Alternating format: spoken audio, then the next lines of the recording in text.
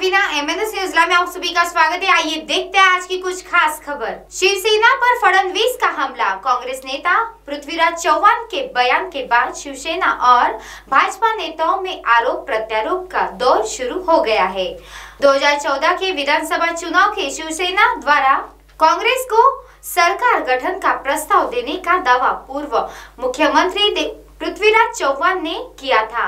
इस पर पूर्व मुख्यमंत्री देवेंद्र फडणवीस ने कहा कि शिवसेना की सच्चाई सामने आ गई है। वही दूसरी खबर सामने आ रही है। उद्धव सरकार ने मंत्रियों के बीच दरार खत्म करने के उठाए ठोस कदम। महाराष्ट्र के मुख्यमंत्री उद्धव ठाकरे सरकार ने मंत्रियों के बीच मतभेद खत्म करने के लिए काफ़ी महत्वपूर्ण फैसला लिया है। सरकार ने कहा कि अंतर कलह को रोकने के लिए महाविकास आघाड़ी समन्वय समिति का गठन किया जाएगा। सरकार को उम्मीद है कि इसमें महाराष्ट्र में आ रही परेशानियों को हल किया जाएगा।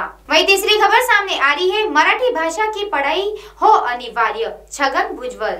महाराष्ट्र के मंत्री छगन भुजबल ने अपने एक बयान में कहा कि मराठी राज्य की भाषा है और सभी को इसे सीखना चाहिए। यदि सभी स्कूलों में मराठी भाषा को अनिवार्य बनाने के लिए एक पारित किया जाता है तो हर कोई सीख लेगा।